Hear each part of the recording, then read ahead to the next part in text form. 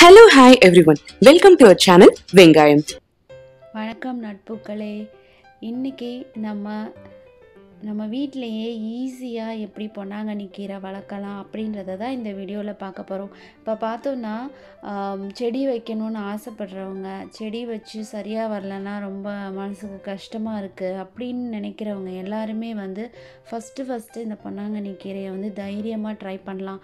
ஏன்னா வந்து உங்களுக்கு அது ரொம்ப நல்ல ரிசல்ட் கொடுக்கும்.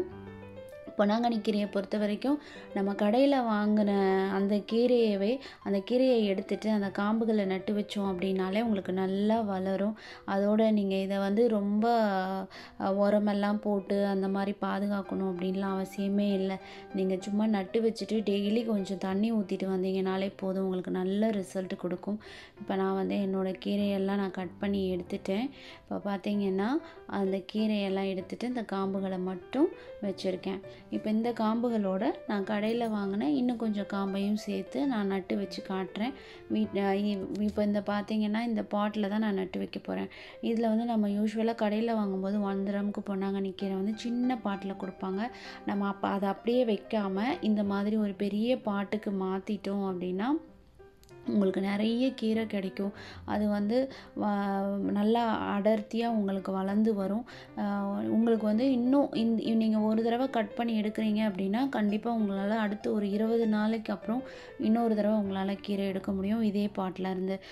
அதுவே வந்து நீங்கள் வாரம் வாரம் உங்களுக்கு கீரை வேணும் அப்படின்னு நினைக்கிறீங்கன்னா நீங்கள் இதே மாதிரி இன்னொரு பாட் ஒரு அகலமான ஒரு பாட்டில் வந்து நீங்கள் நட்டு வச்சு வளர்க்கலாம். இதுக்கு வந்து எந்த விதமான மண் கலவையோ ஏதாவது உரம் போடணும். அந்த மாதிரி மாதிரிலாம் எதுவுமே கிடையாது. பொன்னாங்கண்ணியை பொறுத்த வரைக்கும் அது நீங்கள் எப்படி நட்டு வச்சாலும் உங்களுக்கு வளர்ந்து வரும். நல்ல ரிசல்ட் கொடுக்கும்.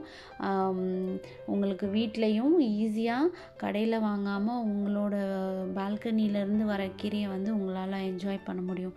இந்த மாதிரி இந்த நட்டு வச்ச பிறகு நம்ம எப்பவும் போல் கொஞ்சம் கொஞ்சம் தண்ணி ஊற்றிட்டு வந்தாலே போதும். இதே தண்டை வந்து நம்ம தண்ணிலையும் வளர்க்கலாம். தண்ணியில் வளர்த்தோம் அப்படின்னா நம்மளுக்கு அந்த அளவுக்கு ரிசல்ட் வராது. பட் வீட்டுக்கு ஒரு அழகுக்கு நம்ம வளர்க்க முடியும். இப்போ பார்த்திங்கன்னா இது நான் கடையில் ஃபஸ்ட்டு வாங்கி நட்டு வச்சது. இப்போ நான் அதை வந்து ஒரு இன்னொரு பாட்லேயும் போட்டிருக்கேன் தண்ணிலையும் போட்டிருக்கேன் பாருங்கள் இப்போ இது வந்து நான் ஃபஸ்ட்டு வீடியோ ஸ்டார்டிங்கில் கட் பண்ண இல்லையா அதுக்கப்புறம் எனக்கு வளர்ந்து வந்தது. பாருங்கள் திருப்பி செகண்ட் டைம் எனக்கு கட் பண்ணுறதுக்கு ரெடியாக இருக்குது இந்த கீரைகள். இதே மாதிரி நீங்களும் பொன்னாங்கண்ணி கீரையை வீட்டில் வளர்த்துட்டு எப்படி வந்துச்சுன்னு எனக்கு கமெண்ட்டில் ஷேர் பண்ணுங்கள் ஹாப்பி கார்டனிங் வணக்கம்.